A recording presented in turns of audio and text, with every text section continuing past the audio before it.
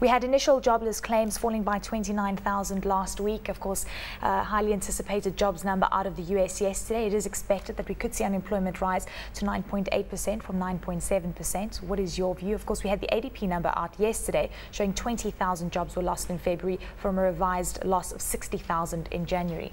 Uh, yes, uh, I think some of these numbers are a bit skewed because of the weather they were having in the US in terms of claims, etc.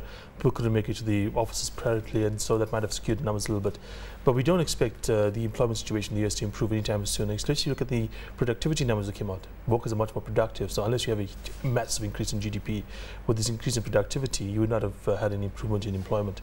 So we do expect an increase in unemployment coming through this time around. We also had some retail data out of the US yesterday, not as bad as people had initially thought. Consumer stocks also enjoying gains on the back of this. But it is said that the bad weather, as you alluded to, is affecting uh, the mood in the US at this stage. But are you confident the US consumer is starting to gain some traction in terms of recovery? Uh, we've not even looked at those housing numbers. The housing numbers dropped like about 7% and expected a, a slight improvement. And uh, that obviously was scary. But I mean, as I mentioned, there were these massive storms in the US over the last month in February, and that would have obviously skewed every number in terms of uh, consumption, in terms of uh, you know housing sales, car sales as well bad weather would be enough reason for me to stay at home. So yeah. definitely. Okay, looking at uh, the Bank of Japan, and they're saying that they want to ease uh, the monetary policy uh, rules even further to try and get the yen to pull back against the dollar because the yen has been really strong. It's been affecting exporters mm. as well in that country. What do you make of the fact that some countries are hiking interest rates, such as Australia, and then other countries are opting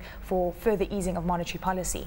Well, it's also to do with the situation in which they actually went into the crisis. I mean, Japan had been effectively at zero interest rates for the majority of the last decade or so. And so there wasn't much they could actually do to ease interest rates as they went through the crisis. And they actually have deflation there for a large point, part of time. So their real interest rate is positive, even though their actual interest rate may be zero. Uh, so they've always had a problem. Uh, strangely enough, if you look at their actual fiscal situation, they're as bad as Greece, probably worse than many other countries in the world. And uh, I mean, that would obviously weaken the yen, but the fact that the Japanese consumer is such a massive saver in the world economy means that the yen is always going to be strong, and that the weaker um, global situation just made the yen even stronger, considering uh, the fact that they were a saving nation to begin with. The they are not going to have a recovery like the Australians have had a recovery, or we are having a recovery at the moment. Um, they're facing competition from all many parts of the world. Their advantages in terms of being the best car manufacturers in the world has been diminished now. The Toyota's gone down. They're facing competition from Korea. They're facing competition from China. So they don't have as good an outlook, and they also have a bad fiscal situation. But that being said, the yen is still being extremely strong for them. It's also hurting their economy. We're looking at the euro dollar. We've also seen interesting plays in the dollar easing ahead of those the job data that we alluded to earlier. But what is interesting is we had a, a vote of confidence for Greece yesterday when we saw Greek bonds, uh, a good appetite for that, 5 billion euros worth. And now uh, many analysts out there are saying that Greece is actually of no need of aid because there is an appetite for its bonds and it's for, for its debt. Uh, yes, I mean, if they're able to actually cut the spending as they need to cut the spending, that depends. I mean, you look at the union action. Someone took over the financial ministry last yesterday. I think the at a union city and the financial ministry couldn't let anyone in. But if they are able to get the spending cuts through, they will have no problem actually borrowing money, especially if they're offering the higher interest rates that they are offering, because their risk of default is virtually zero. Uh, I mean, the, the, European Union is not going to let Greece fall. It just doesn't, doesn't, make sense for them to do that. So you are going to get a lot of demand for their bonds, especially they offer interest rate than you would get, for instance, in Germany, etc. And the, because the risk is not going to be so much greater than Germany defaulting. Uh, looking at the euro dollar play, of course, the euro has come under significant pressure as a result of all the debt worries that have emerged from that region. But some would argue that it's not such a bad thing to see the euro coming under slight pressure because it's going to help uh, the countries in that region uh, regarding exports and uh, perhaps could even help the whole world. What do you think of that? Uh, maybe not the whole world. I think it's uh, the US is pretty, pretty much uh, fighting its situation right now where the Chinese will not let their currency appreciate, where the, the Europeans also have this uh, this gift in a way of the Greece uh, situation actually weakening their currency.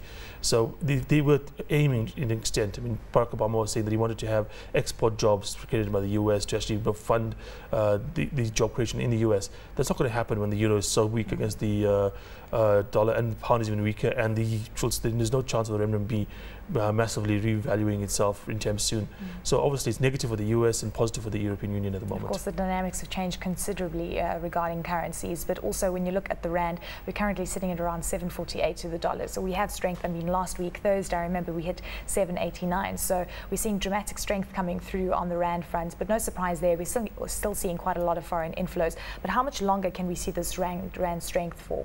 Hopefully not too much longer because consider the fact we are strengthening against the dollar, we're strengthening against everyone else. So we are actually strengthening doubly against the euro and even stronger against the pound because the pound is even weaker than the euro for the last couple of days. And that's a bad situation because if you think of the euro area as a whole, I'm talking about the entire euro area, it's actually our biggest trading partner.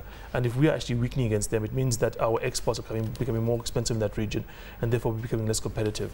So I'm not one of those people that says that the rand should just go to wherever it wants to. There should be some kind of uh, effort to try and weaken it a little bit, especially if you consider the fact that we're going to be suffering so greatly when it comes to exports, etc.